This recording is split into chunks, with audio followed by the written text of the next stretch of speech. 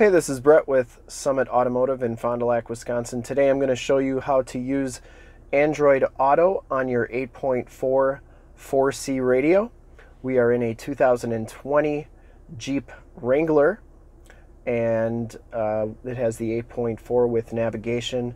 It's the 4C radio and I'm, I have a Samsung Galaxy S9 Plus here that we are going to pair via Android Auto to the radio so that I can show you how to use the Waze and Google Maps feature uh, through the radio and the Android Auto app.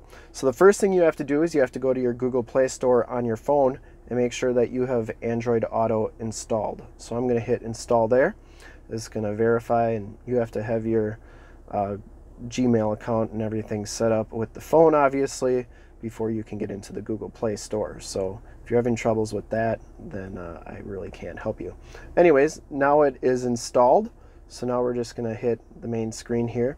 Next thing you're to need, uh, depending on your phone, is you're to have to have a USB device or cord that connects to your phone. So I have a USB-C.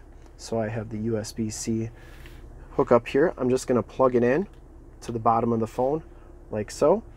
And now it's going to uh, ask me a bunch of questions and you're going to want to hit continue and everything.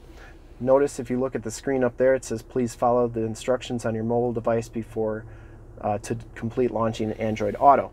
So I'm going to do that. I'm just going to hit continue here.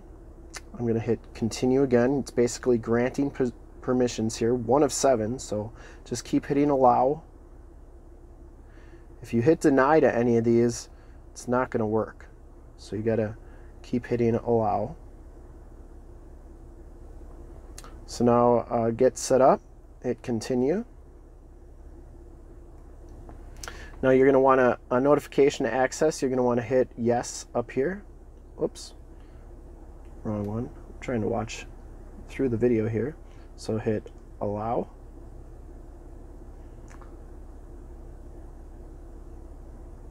Going to do a couple things. To start, select Android Auto on your car screen. So now the phone, oh, it's going to ask you a couple more times to grant access. So we should be all good to go.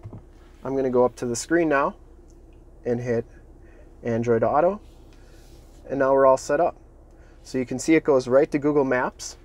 Um, and you can do all your stuff in here in Google Maps that you want and you can select recent categories saved. You can search destinations and all that good stuff here. So the other thing you can do is you can go into your settings. You can change how the thing looks in here. And then finally uh, like I have Waze on this phone and I also have Google Maps. So I'm going to switch program. So you press this little circle button right here. And now you can see I can select music, I can select podcasts, I can go to my calendar, I can go to my phone, um, I can go to settings, and then I can also go to Waze. So now I'm in the Waze navigation system, which is, uh, some people prefer it, gives you shortcuts and all that good stuff. And then uh, you can also do the play music and the calendar I don't think I have anything set up on this phone for a calendar, but it would show you your events for today. And then um, you can go to Google Maps again, play music. If I had music on this phone, I could scroll. See how it's not letting me because I don't have any music on the phone. But if I had music, I could scroll through my music by hitting that button right there.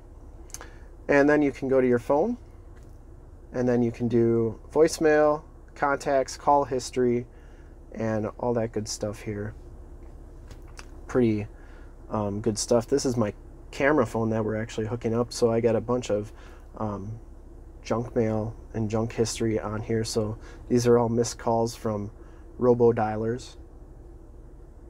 But anyways, it's really as simple as that. The hardest part is downloading Android Auto on your phone and allowing it all the permissions.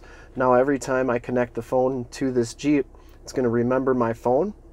So if I go into settings here, and if I go into, let's see here, if I go into apps and projection manager, it'll remember my phone in there.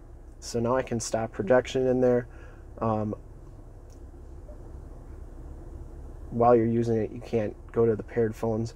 But anyways, I can stop the projection. And now it might tell me, yes, yeah, so there's my phone that I have connected. Um, yeah, and it's pretty easy as that. And then if you ever want to delete your phone, you just go in here and hit delete. Yes. And now you're all done. So really easy, as easy as that. Uh, thanks for checking out the video.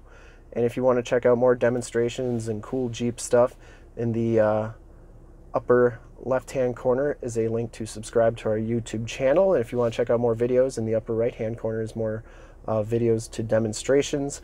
And if you haven't been to our website, you can check us out at summitauto.com and a link on the bottom. Thanks again for checking out the video and uh, hope this was helpful.